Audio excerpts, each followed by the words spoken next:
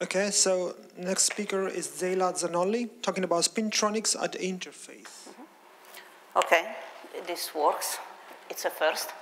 So thanks for the invitation, thanks for the prize, and this is uh, uh, the work that I've uh, that have been awarded.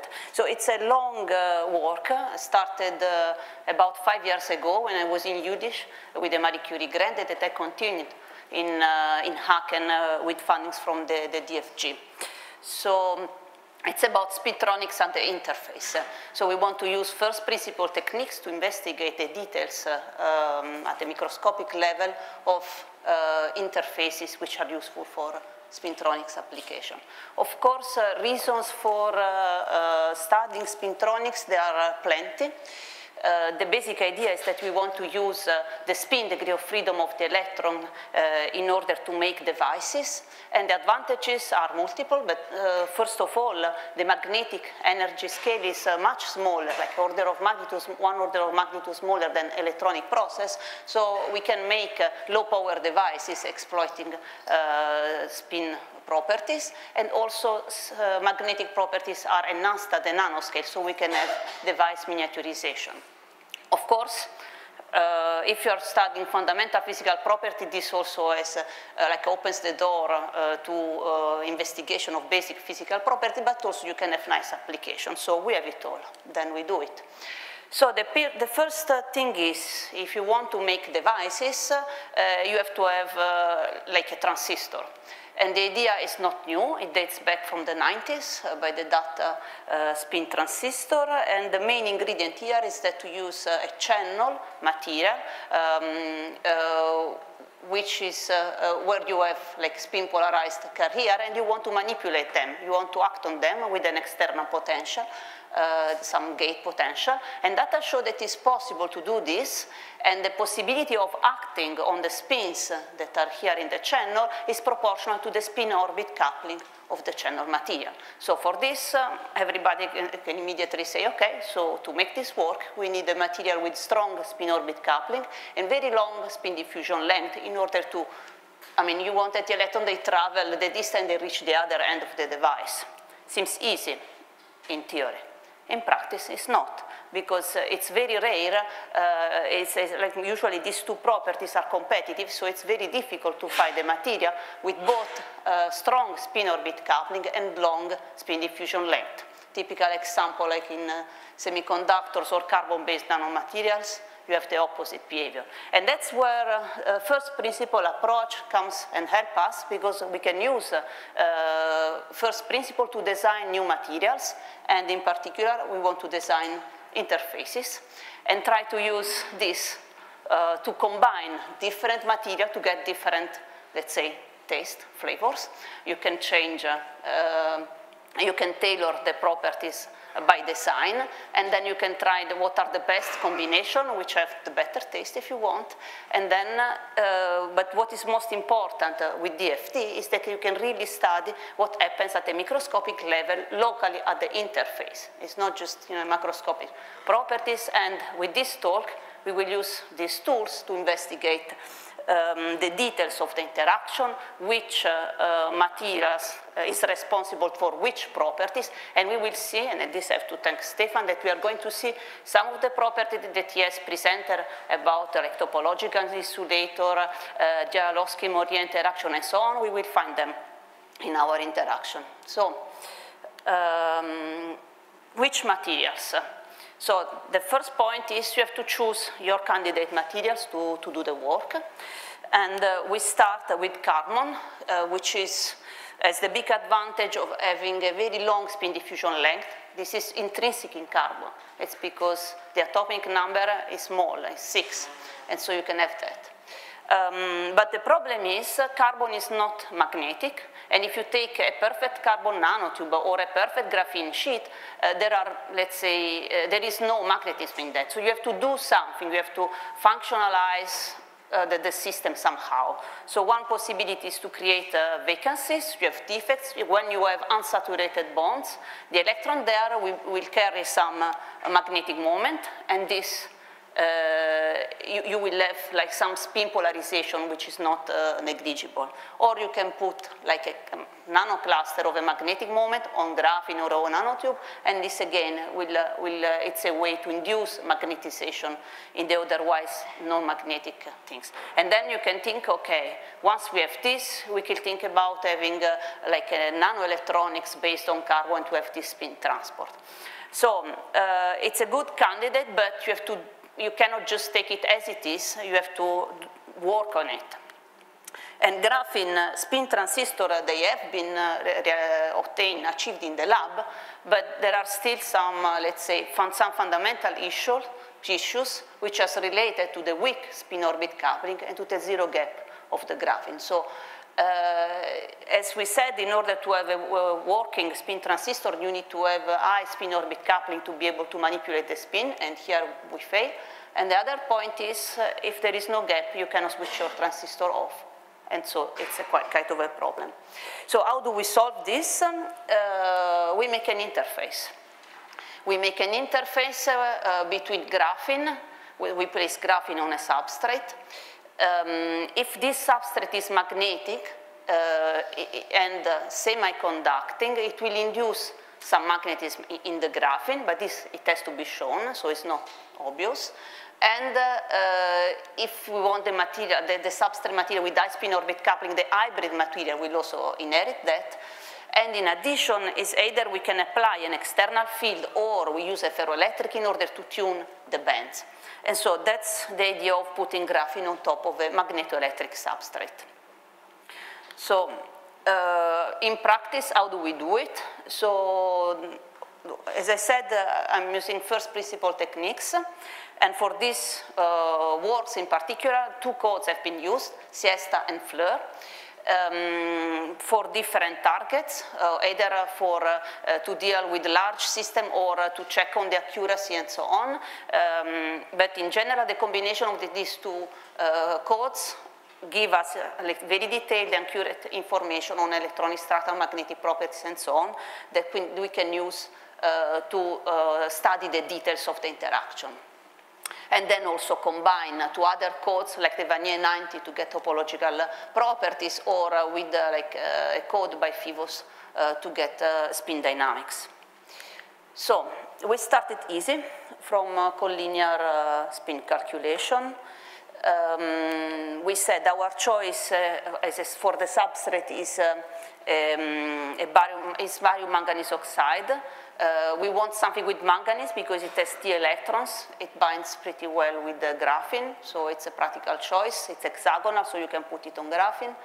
And uh, um, most important is semiconducting. So we will not sh so short circuit your graphene because then when you go and talk with your experimentalist friends uh, and you say, ah, I'm going to do an interface, the first question is, is the substrate insulating or uh, a metal?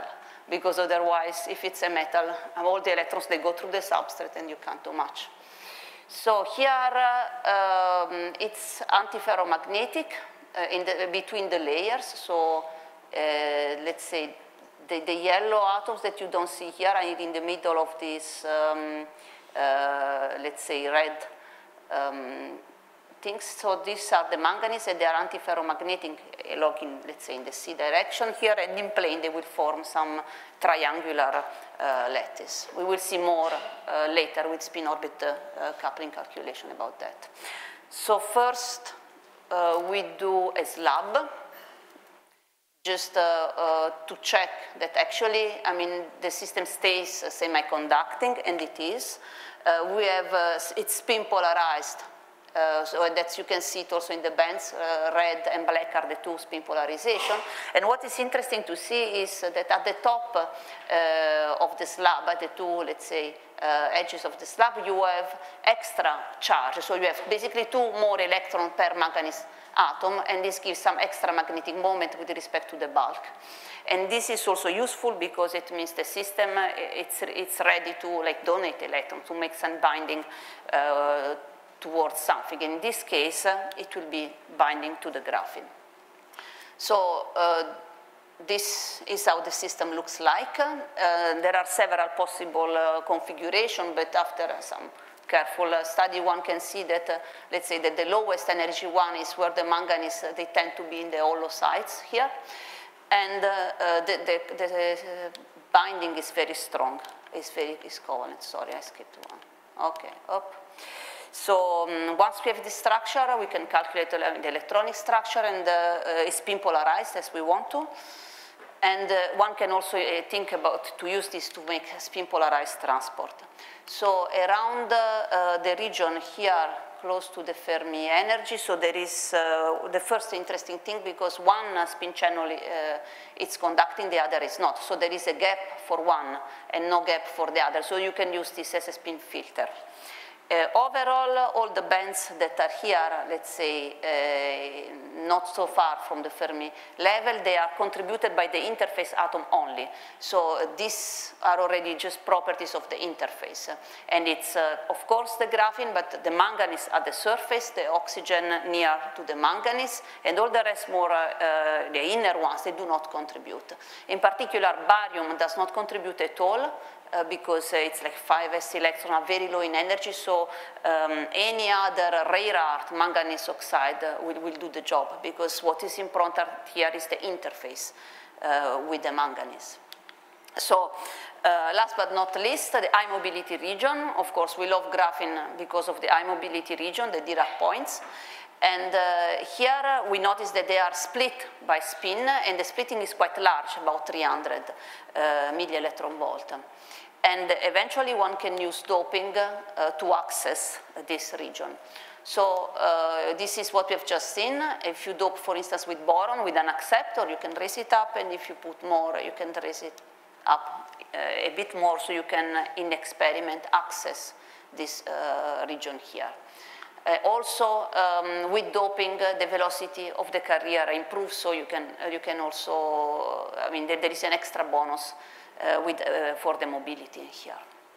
So now uh, it's quite clear what happens from the electronic point of view. Um, there is some charge that goes from the manganese atoms uh, into the, the, the, the, graphene, and this is reflected in the magnetic properties of the system. Uh, so here I have uh, the spin density, so spin up minus spin down, uh, for our system, so graphene with the substrate from the side and from the top.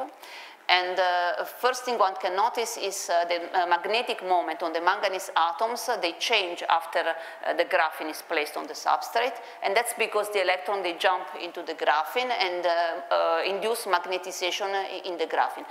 So um, it's important to notice the graphene is not strained, there are no defects, so the only reason to have a magnetic moment which is not zero in the graphene is because of the proximity uh, with the substrate. So magnetization is induced by the manganese. Um, but also, the story does not end here. This is already very nice and uh, was published uh, in uh, like uh, one year and a half ago. Uh, but then, uh, so we decided, I decided, honestly, because I'm curious and I wanted to see, to go a bit further in this story. It's not just when you have an interaction, it's never just one that interacts on the other, but you can also have the other way around. So the graphene affects uh, the manganese. And you can already see it here because the magnetic moment goes, instead of being four, is about three at the top. So something is happening also from the other point of view. So what is graphene doing to the substrate? And that's the question that I want to answer here. For this, we performed the calculation with spin orbit coupling, with Siesta and Fleur, and uh, we found a remarkably nice agreement between the two codes. And uh, we recover, of course, for the bulk what is known in experiment. So this is calculated. Uh, so these are not arrows that we put by hand. They are really uh, the result of the calculation. So you can really see the antiferromagnetic uh, alignment on the manganese between plane and the, the uh, triangular arrangement of the spin in plane. Uh, we have the Dzyaloshinskii-Moriya interaction, as Stefan showed before, and you, you can have, you have actually spin spirals here uh, in, uh, in, in, uh, in the plane. As you can see, the easy axis is basically an easy plane and is in plane here. So what happened now when we cut the slab? So for a barium manganese oxide slab, uh, we basically recover the bulk properties, so still in plane easy axis, but when we put the graphene on top of it, things change uh, dramatically because uh, the, the uh, easy axis of the system uh, becomes, uh, eh, let's say, in the z direction instead of being in plane. And uh, a, a, reason for this is, can be seen in the interaction between the graphene and the manganese atom. So we saw that there were these electrons on the, like two per manganese atom. We saw that there is charge transfer and spin also transfer. And in a sense, uh, let's say the graphene here like spinning, I mean, it takes the spin uh, of, uh, of the manganese and let's say encourage them to, to change to be out of plane. And this is exactly due to the, uh, let's say, uh, inter close interaction between the two. So this is quite a strong effect.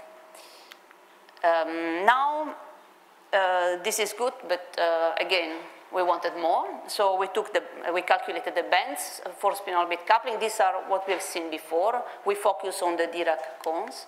So this is collinear and, oops, sorry. And this is with spin orbit coupling.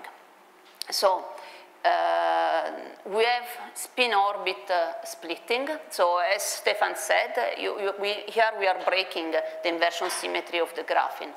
And so uh, there is uh, some gaps that, are opening here um, and at the K point. At the K point is about 8 millielectron volt and right and left is about 2. Uh, you say, okay, this is small. But if you think about, uh, uh, let's say, pristine graphene and you, you break uh, and you apply a field and so on and you have the spin orbit splitting, these are like 200 order of magnitudes larger than one what you have in, in graphene. So it's a way, um, like a practical way to, to affect heavily the properties. So this hybrid system has uh, uh relevant uh, spin orbit splitting. So this was done with Siesta, and then we did, uh, we, we studied the interface, the bands with Fleur as well, and we got the same result. Basically, we have a, here is just the bands at the, at the interface. So we, get, uh, we got again a gap about 10 millielectron volt at the K point. Uh, the small gaps uh, right and left are about 2, 3 uh, millielectron volts, so order of magnitudes are similar. And, uh, um, and then we used uh, um, the Wannier 90 to calculate all the topological properties. So here is the anomalous Hall conductivity, and one can see that is quantized. Um, so you have in correspondence to the energy of this uh, gap at k, the, it tops at 1.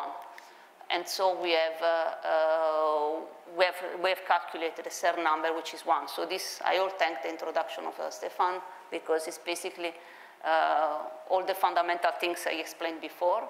And this system is a, a very, a, very nice system where we can actually see um, this effect. And this is also Berry curvature computed, so where you can see that at the uh, K point uh, you have, uh, you, you, nicely have the effect. So the system has uh, topologically non-trivial properties, and uh, now I mean, that we have learned a lot of things with the spin orbit calculation, we wanted to go uh, again a bit further and see uh, the spin dynamics at finite temperature, and this is the last part of, uh, of the work. So, um, ah, shit, this does not work. So, uh, in order to study this, um, we took our slab system and uh, uh, we wanted to, so to, um, we, we, we, did different spin configuration. We extracted uh, the exchange coupling parameters between the planes and in plane like this, and we put them in a Monte Carlo code and we got uh, uh, the spin dynamics. So this is how it looks like in general, and for instance, uh, we did it with bulk first, so this is an example of a configuration that one can choose. And uh, we calculate the J with Siesta and fleur, and the, the, agreement between the two is really impressive. Uh, so we use the same configuration, uh, total energy calculation for the bulk, and we get basically uh, the same, uh, the same uh, strength for the interaction. Main message here, okay, it's antiferromagnetic coupling uh, in between the planes, uh, which we all agree, and it antiferro in plane. So these calculations are assuming uh, collinear spins, so it's frustrated the system, so you cannot get uh, anything uh, better than that.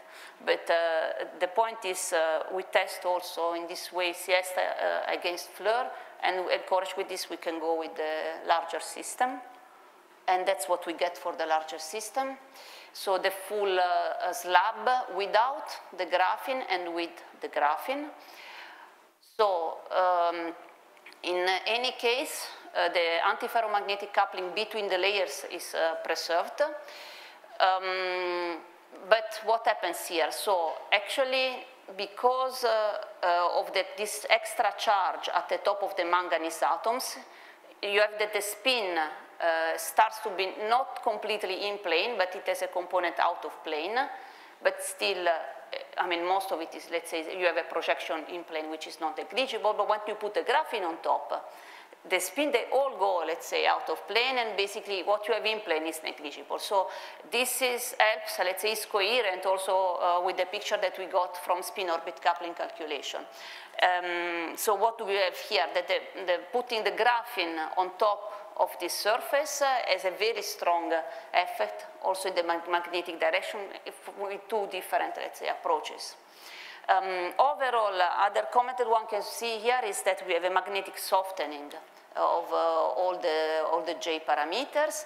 And another uh, important information is that the graphene also uh, affect not just the first layer at the interface, but also the, the penultimate layer uh, of, the, of the bulk material. So you have to go like two layers down from the interface. What happens here? There is a change in sign in the J parameters, uh, so it goes from antiferro to ferromagnetic coupling. So qualitatively, the, the concept is uh, if you want to model the interface, you should not stop at the first layer just below the interface. You have to go and see what happens a bit further because uh, the interaction is so strong that it also uh, influence like uh, one or two layers below. Um, with this, uh, I will uh, basically summarize what we have seen, what we have seen in this talk.